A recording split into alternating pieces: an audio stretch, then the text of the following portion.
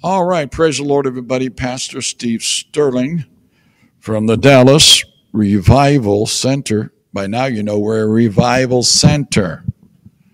And so we specialize in revival. And uh, that's what's happening when you come out to these services. You get revived, you get refreshed, you get renewed, and you get restored. Hallelujah. We love that. And I know that we need that. We need that here in, uh, in the United States and around the world. Praise God. Revival must hit. Jesus' name. So, anyway, uh, yesterday I talked about, started with Joel chapter 2 and verse 1. And we said, uh, Blow the trumpet in Zion, sound the alarm on my holy hill. Amen. Blow the trumpet in Zion, sound the alarm on my holy hill. Well, that, that activated and that really uh, set off a cataclysmic uh, power of destruction and decimation.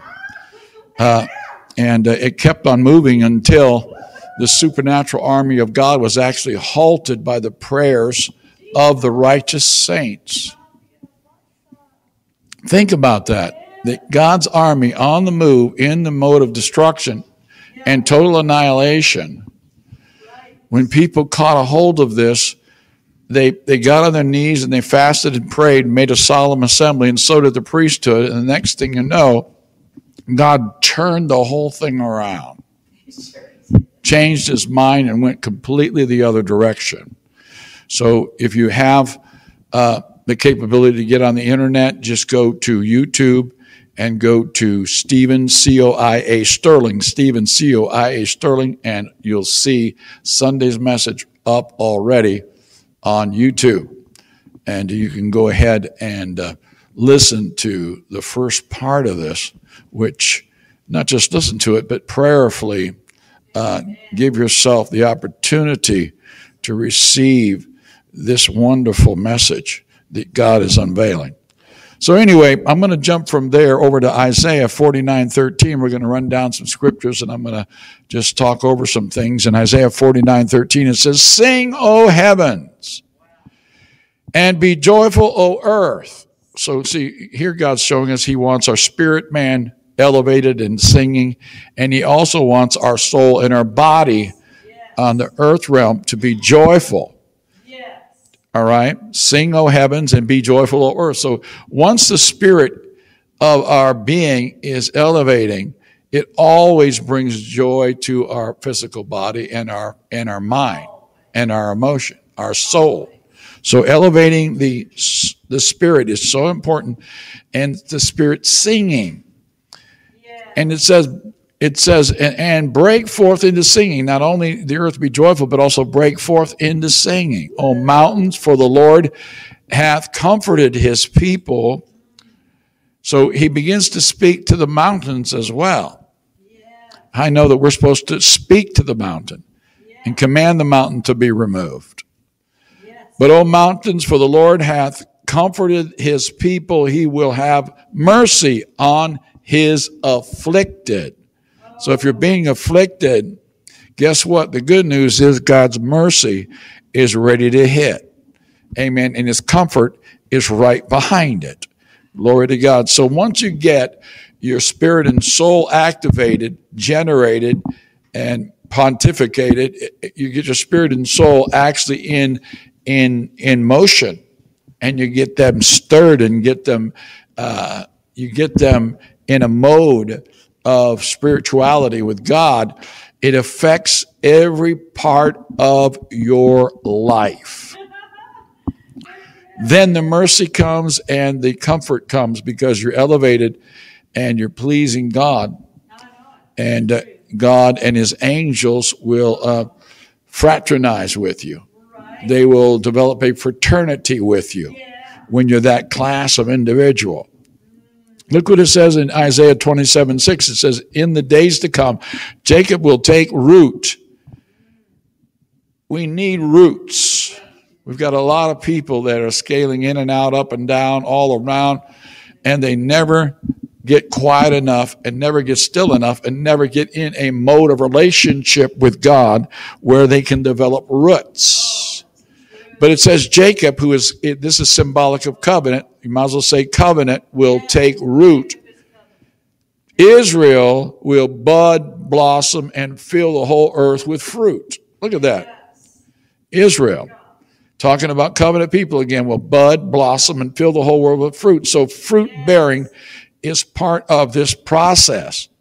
As we look before in Isaiah 43 of the of the of the joy and of the breaking forth into singing and of uh, God beginning to move in comfort and begin to uh, uh, release His mercy in our affliction, and then those wonderful things begin to come. It sets prosperity in motion. When your spirit and soul are active with God, it sets prosperity in motion. Because when your spirit elevates, it can only do one thing. It's made in the image of God, and it elevates. It's on. It's only going to do. Uh, it's going to praise God. It's going to sing. It's going to. It's going to. It's going to reflect goodness and gladness and thanksgiving. Once the your spirit elevates, you know, a, a broken spirit will dry your bones. Now it says here in Isaiah 15, 2, I will, it will blossom profusely. When the blossoming comes, wow. it ignites even another level of rejoicing, joy, and singing. Isaiah 35, 2, it will bloom profusely. Remember what we said? We just read the scripture. Right. It said in Isaiah 27, 6, in those days to come, Jacob will take root Israel will bud, blossom, and fill the whole world with fruit. So our fruit, we're, we're, to be expansive. We're to be on the increase. We're to reach the world for God. Hello. And we do that by cooperating with God and obeying God and executing His will. And here it says that blooming is going to be profuse. Isaiah 35, 2, and will bloom profusely. And then when that happens, rejoicing comes and joy comes and singing comes. And then right behind that, the glory comes. This glory is a glory that changes things, rearranges things, remakes and redo, redoes things in our lives. The glory of Lebanon will be given to it. See, when, when we, when we waft up, when we move up, and when we in, move up in the gradients and get higher with God and, and, and choose to live there where things are blooming profusely, then what he does, he gives glory. The glory of Lebanon shall be given to it. The splendor of Carmel and Sharon. So Lebanon, Carmel, Sharon, these are all beautiful places in, in and hills and mountains in, in, in that area. They will see the glory of the Lord and the splendor of our God. So you will see this action come upon you. Acts of God, the splendor of God, the specific prolific of God, the eternal supernal things of God, the miracle signs and wonders.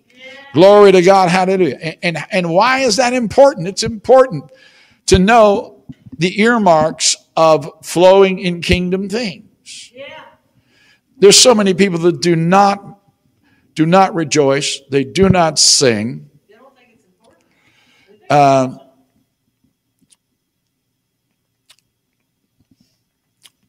they do not praise God.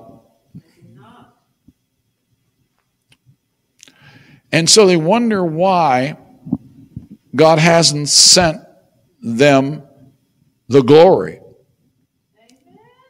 Is it any, we just, we went over it. What happens first before the, the profuse blooming of God's blessing comes upon us when God attaches His glory to us is we get higher and higher with God. We move up out of the flesh, move up out of the natural, move up out of, of the of the realm of the carnal, and move into the indivisible, move into the higher gradients and levels with God. We were made in the image of God. We're made in the likeness of God. We're made to elevate. Everybody say we're made to elevate. And we're made to celebrate. Elevate and celebrate. You know, anytime you pray in the Holy Ghost, let's just say most generally, when you're edifying yourself, you always rise. And when you when you pray in the Holy Ghost, you, you're always built up. And when you pray in the Spirit, things get lighter and lighter and lighter and loftier and loftier. Because you're ascending. You're moving upwards. You're moving towards the heavens. You're moving towards your eternal resting place. Glory to God. Hallelujah. And that's important to know.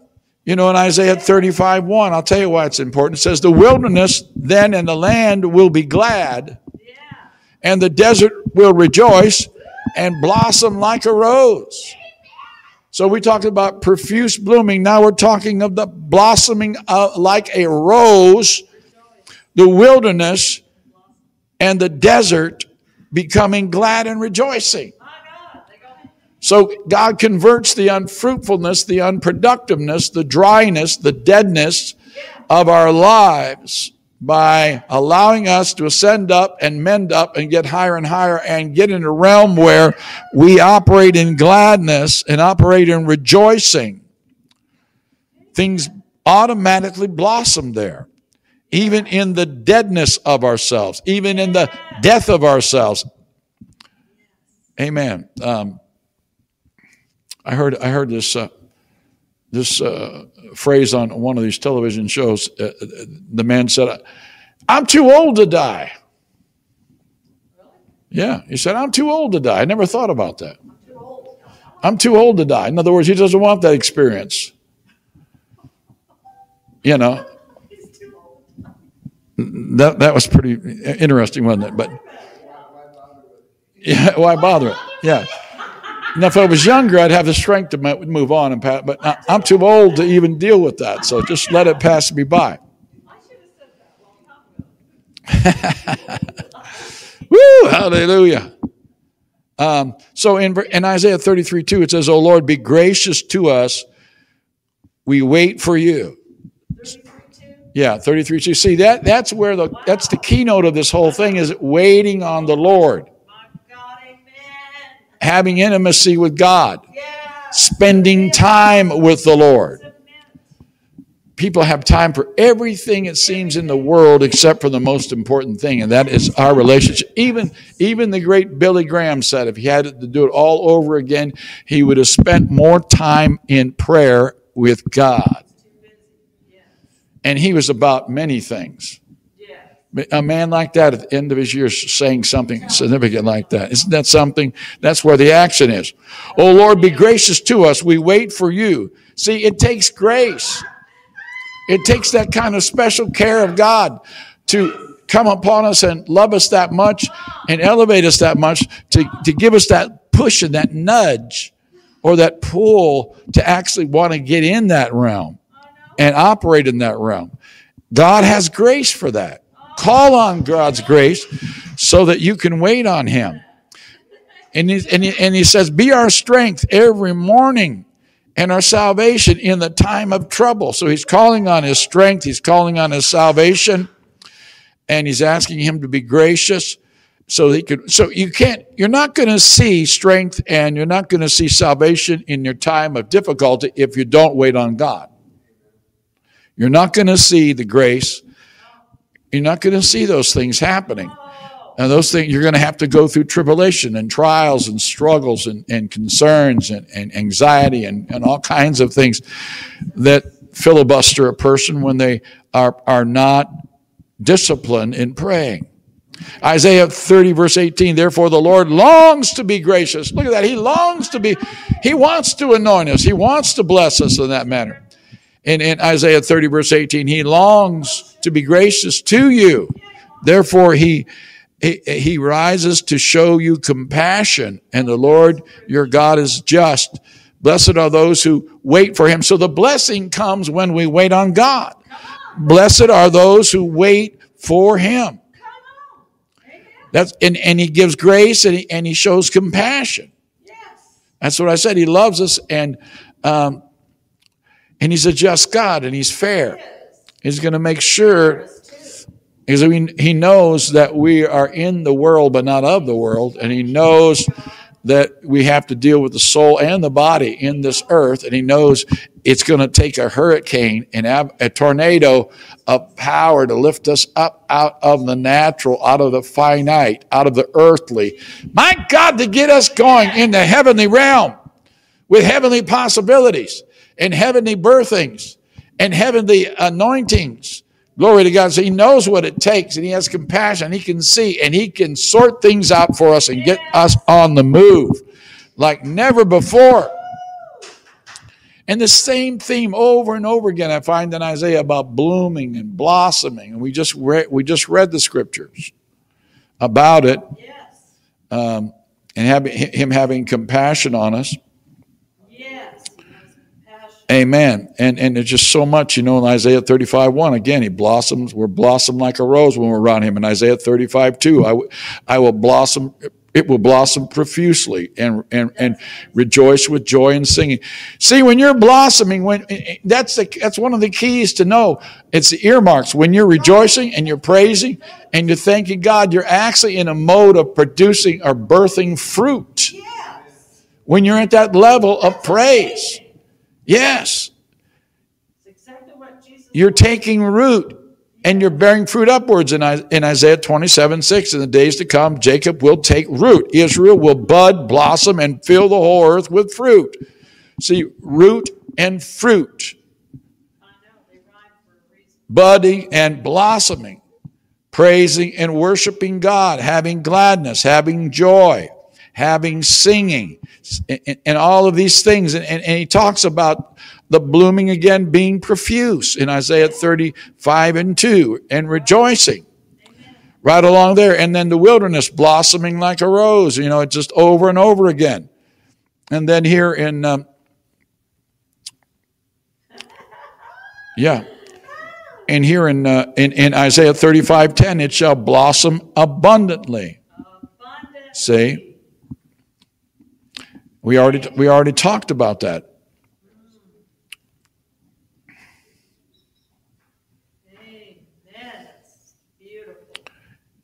Yeah, in Isaiah 25 9, it attaches salvation Yes.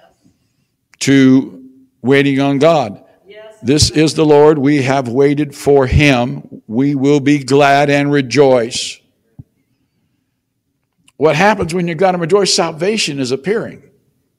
It says we, we will be glad and rejoice in his salvation. So when you have that gladness and rejoicing in your heart that's manufactured by the Holy Spirit, that's manufactured out of your born again spirit, and you get into attunement with, with spiritual things. Your singing and worship and praise will actually actually cause salvation to surface. It will activate the modes of salvation. Hallelujah! When you get in that place, when you can sing the songs that God wants you to sing. You know, you know, he talks about that in, in the New Testament when they come together, that they're supposed to bring their psalms and their songs, and if anybody has a praise. That's the way, that's how it gets tuned up. That's how the whole thing gets launched. That's how whole service gets elevated and moves into the celestial realm. And look what it says in Isaiah 65 14. My servants will shout for joy with a glad heart, but you will cry out with a heavy heart and wail with a broken spirit. You see the difference between the two? I- And I pointed out, God just pointed out right here, and I said it earlier. Yeah. My servants will shout for joy with a glad heart, but you will cry out with a heavy heart and wail with a broken spirit. Broken spirit. So many people live in brokenness. That's without a solution. They don't have the shout. You know, did, did the man of God say, Where is the shout in Israel? yeah. Where is that shout? Where is the God of miracles? Yeah. Where is the eruption of victory in the camp? Where are the songs of Zion? Who hung the, who hung the harp on the willow tree? Yeah. Where is the sound Amen. of victory? He didn't have any. in the camp. See, there's sounds, Uh-huh. there's significant things that happen. Wow. And all these things are connected. Look, it's connected to fruit bearing, Yes. setting down the root. Wow. It's connected to intimacy with God. It's, it's connected to prosperity. Yes. It's connected to the manifestation of salvation. That's why the devil has robbed. He knows the way. He was there once. He was a covering cherubim that stood before the ark in heaven. And he protected the glory and he led the singing and the praise in the ark. And he hates it when people press in and really get a hold of the real thing, the raw thing, the for sure thing. He can't stand it. My servants will shout for joy with a glad heart. You know, and merry heart doth good like a medicine. If you want to get healed of heart trouble, guess what? Get glad. Get glad instead of mad. Get glad. Yeah. Amen. That'll heal a lot of hearts. Yeah. Forgive and get. A merry heart doth good. I don't see a lot of people being happy about a lot of things. That's for sure. Uh, that's for sure. Look what it says in the way back. Everybody say the way back The way back is the way we started. is the way we started. So if you look at Isaiah 35 10, it shows you the way back. So the redeemed of the Lord will return and enter Zion with singing. Zion is our mother, it says in, in, in Hebrews. At Zion, there's a innumerable company of angels that are at work. When we enter into Zion, you will enter Zion with singing, crowned with everlasting joy. Gladness and joy will overtake you. Gladness and joy will overtake you. Sorrow and sighing will flee away. Will flee away. They've got to go. They got to go. No sorrow, no regrets, no sighing, no woe, woe is me, no doleful, woeful me. Amen. God just moves on you with everlasting joy, gladness, and joy will overtake them. But they came in to the, to the into Zion with singing. It says they were crowned with everlasting joy Yes. the redeemed of the Lord, those that are blood washed and blood bought, those that stayed with covenant, those that are faithful and true. Can you say amen? Come in singing and crowned with everlasting joy. Glory to God. The Bible says the joy, the joy of the Lord is our strength. Amen.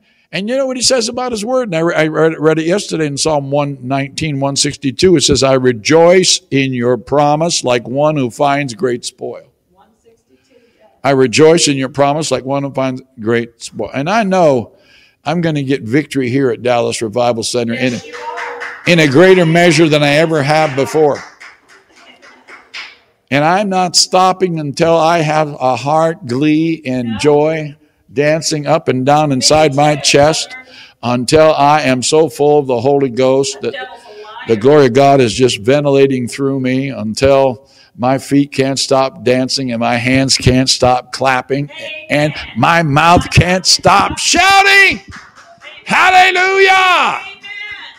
Amen. And that's what it is. Dreams are always fulfilled at Calvary. And I declare to you that we're we're in a spin and we're going to win. We're in the spin. Amen. From center to circumference, God has it all covered. Everybody say from center Center to circumference, God has it all covered. It all. Now, all the way into the forever. Say this with me fresh as the bright blue sky. Fresh as the bright blue sky. I will not be denied. Not be denied. Amen. Say, I'm on my way to that special place of God's mercy and grace. And say this some are not worthy, they're cheap in plastic. It's too bad. Whoo, hallelujah. But we thank God. Uh, let's see where we're at here, about 20, Place of mercy. 25 minutes. Yeah, I, I don't have, I don't want to go on much longer, but um, Ooh, that's victorious preaching. Uh, You know, it says in Isaiah 52 13 in the TPT, look, my servant will prosper and he will succeed. 52 I mean, he makes a point blank statement. Look, my servant will prosper and succeed. He will be highly honored, raised up, and greatly exalted. Look at that. He will be highly honored, raised up, and greatly exalted. See, when you get elevated with God, exaltation automatically takes place. honor, yes. Transference automatically takes place. Changes automatically happen. Come on. Amen. Amen. Hallelujah. God, amen. When you get to that place of act, acting out uh, heaven on earth, you know, Isaiah 46 13, I am bringing my righteousness near. I will not be far away. Uh, and, and my salvation will not be delayed. I will grant salvation to Zion and adorn Israel with my splendor. wow. Thank you, Jesus. Amen. Scripture says in Romans 10 11, anyone who believes in him will never be disappointed. Hallelujah. And so we've got it. Everybody say, God's got it, God's got and we've got it. and I've got it. Thank you, Jesus. And we're not letting go. And so we just declare this last scripture in Isaiah 54 17 no weapon formed against us can prosper. Every tongue that rises up against us in judgment we will condemn. This is the heritage of the servants of the Lord. This is their vindication, and it is from God Himself. Give the Lord a hand clap, say amen. Vindication is mine. Vindication. Is mine, and God's heritage is mine. Give the Lord a hand clap, say amen. God's heritage is mine. Inheritance. There it is. Heritage. Wow. Well, I think that's enough for now. That, that's enough to whet the appetite to let people know that, man, it's how important it is to elevate with your spirit and soul. It'll pull your body up, and then when you're up there, all the earmarks hit you singing and praising and joy and gladness, and all of these elevated things happen, and then it sets off roots going down, growth coming up, a boom and blossoming forth of fruit and then it, it, it sends an earthquake through the earth and through the heavens and it causes God's salvation to activate. Hallelujah. And so you can participate without debate that God is God all by himself. Glory to God. Amen. Help us to do it, Father. Let me read this last scripture, Micah 5 9. Thine hand shall be lifted up against thine adversaries, and all thine enemies will be cut off. Did you hear what I said? All your enemies will be cut off. Thine hand shall be lifted up against thine adversaries, and all thine enemies shall be cut off. Micah 5 9. Micah 5 9. Micah 5 9. Jesus' name. Father, we thank you. Pray, God, right now that you just uh, send out your thunderbolts, send out your lightning, strike, strike, strike, and be accurate, be precise in your strike. Take down the Leviathan. Take down those spirits and those fallen angels. And those demons.